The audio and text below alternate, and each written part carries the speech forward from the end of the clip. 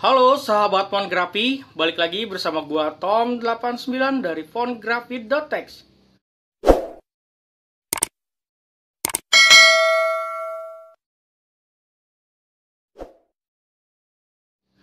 Oke sob, jadi di video kali ini gue mau unboxing satu buah paket ya. Ini berupa handphone. Dikarenakan handphone saya sudah rusak dan akhirnya saya membeli handphone baru dan ini saya beli di luar negeri atau di Malaysia ya. Sebelumnya saya mau ngucapin terima kasih kepada Heidi Dot yang telah membantu saya untuk membeli HP tersebut dan akhirnya sampai ke tangan saya. Terima kasih Om Didot. Oke, langsung aja kita buka ya paketnya dan ada apa aja.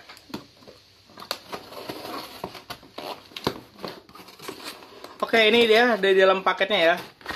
Dan Oke sob, sebelumnya ini paket sudah dibuka oleh Bia Cukai karena untuk mengecek uh, barangnya ya. Dan saya juga telah membayar pajak dari handphone ini dan sudah saya daftarkan emailnya. Dan untuk harganya yaitu pajak masuk dan sebagainya itu sekitar satu juta seratus ya. Ini kita dapat uh, Pixel 3 case-nya. Oke, ini dia Google Pixel 3-nya. Di bagian depan ini terdapat logo Google. Google Pixel 3. Seperti ini. Terus bagian belakang Google Pixel uh, yang 64 warna hitam. Ya. Kosong dan di sini ada tim Pixel. Dusnya penyok karena malum lah dikeluar dikirim dari luar negeri dan ini sudah dibongkar oleh biaya cukai. Tapi nggak jadi masalah ya yang penting HP-nya utuh. Oke langsung aja kita buka kotaknya. Ini dia ada handphonenya sob. Wow ini handphone beli baru bukan beli second ya ini beli baru oke wow seperti mantap banget dan kecil banget ya Terus kita lihat lagi ada apa aja di dalam paket pembelian saat kita membeli HP Google Pixel. Karena ini untuk yang pertama kalinya saya membeli HP Google Pixel. Ini ada SIM ejector.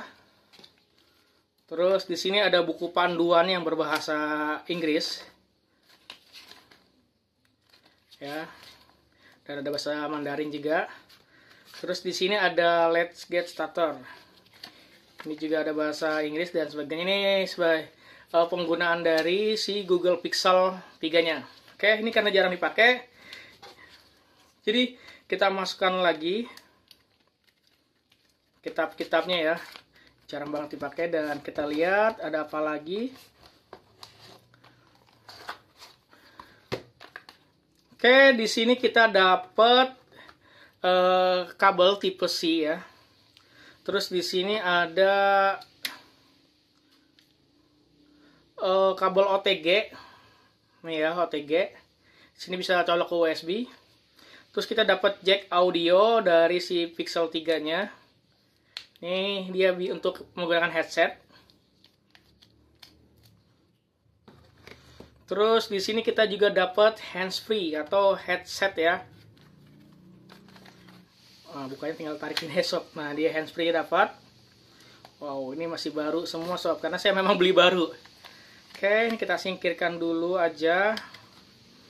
Terus kita dapat apa lagi? Oke, di sini kita dapat dop adapter yang seperti ini. Jadi kita harus pakai converter lagi baru bisa dipasang di Google Pixel 3 ya. Oh, ini tipe C ke tipe C lagi sob. Jadi colokannya beda. Oke. Oke. Sekarang saatnya kita uh, cek dulu si HP nya sob. Oke sekarang saatnya kita nyalakan si Google Pixel 3 nya ya, seperti biasa ini ada Google Pixel Oh ya, untuk di layarnya ini saya karena menggunakan filter ND, jadi uh, hasil layarnya agak belang ya. Sebenarnya aslinya sih normal aja. Oke ini dia eh, HP Google Pixel 3 nya sudah masuk ke home screen. Dan ini simple banget dan kecil banget sob. Asli kecil banget ini. Tapi menurut saya sih uh, worth it banget ya. Dan kita lihat menunya sedikit.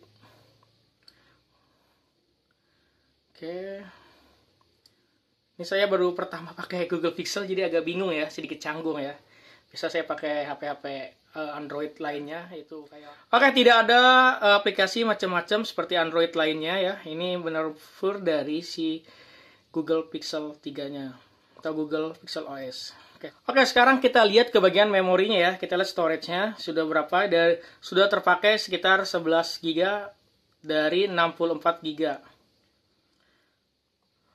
Oke sob, untuk spesifik untuk spesifikasi dari si Google Pixel 3 ini ya, uh, untuk bodinya ini dia menggunakan aluminium frame dan sudah dipasangi Gorilla Glass 5 depan belakang ya, dan sudah memiliki uh, sertifikat IP68 itu anti air dan anti debu. Dan untuk display sendiri dia memakai 5,5 inch dan untuk kamera belakang dia ini single kamera dengan resolusi 12 megapiksel dengan buka f 1.8 ya. Ini udah mantep banget dan sudah ada dual pixel PDAF dan sudah support OIS untuk perekaman video. Dan untuk slow motionnya itu sekitar 240 fps.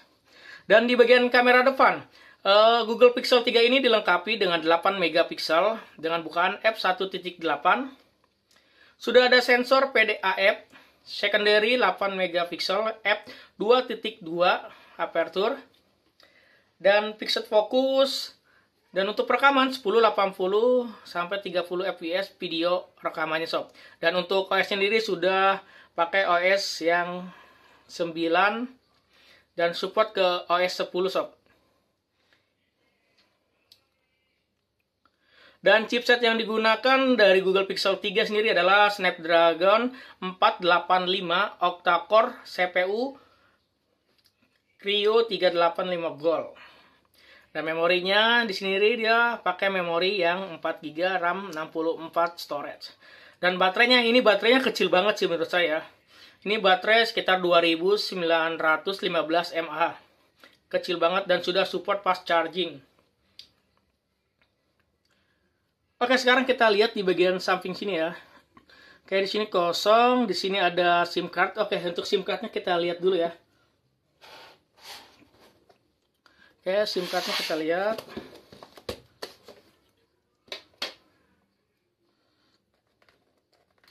Oke, kita lihat SIM cardnya apakah dia support uh, berapa kartu. Karena saya baru pertama kali pegang Pixel.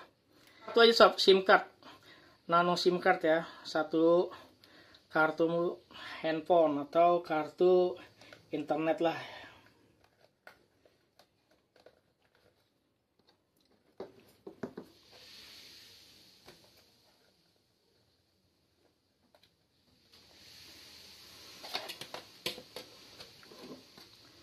Setelah itu di sini ada uh, charger for tipe tipe C. Dan di sini ada volume up dan volume down. Di sini ada tombol power dan ini ada cancelling noise.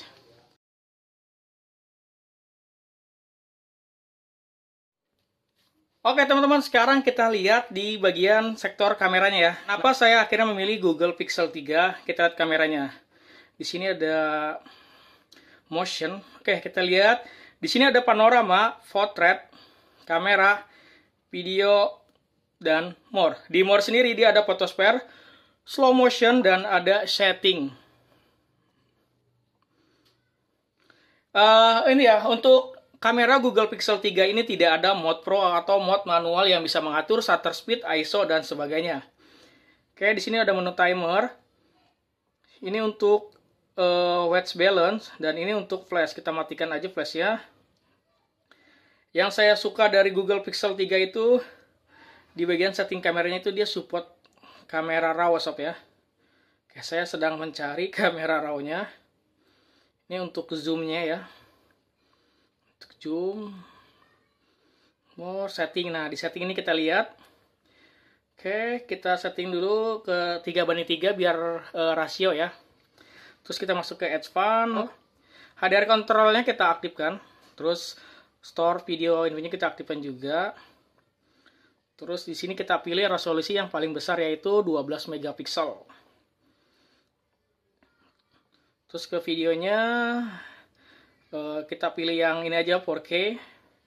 ini HD udah sob segitu doang untuk settingan si kamera dari Google Pixel 3 tidak ada mode Pro mode atau mode manual jadi kita saat kita ingin menggunakan mode manual kita harus menginstal aplikasi namanya Google Kamera Nah di mode portrait ini kalau nggak salah kita juga bisa setting lagi sob itu dia kayak ada pengaturan Ferroji Effect atau apanya gitu ya. Saya harus banyak belajar banget nih mengenai si HP dari Google Pixel 3 ini sob. Dan sekarang kita lanjut ke bagian video ya. Ini videonya kita lihat dia juga bisa mengatur seperti temperatur atau white balance. Ini lebih tepatnya white balance ya dia bisa mengatur white balance. Kita pilih yang auto aja sih untuk rekamannya. Oke lah segitu dulu ya untuk uh, review kameranya. Nanti untuk hasilnya kita akan hunting HP menggunakan Google Pixel 3 ini. Oke teman-teman segitu dulu untuk video unboxingnya. Semoga video ini bermanfaat. Jangan lupa klik tombol like, share, komen, dan subscribe ke channel Pongrafi.tech. Dah, sampai jumpa lagi.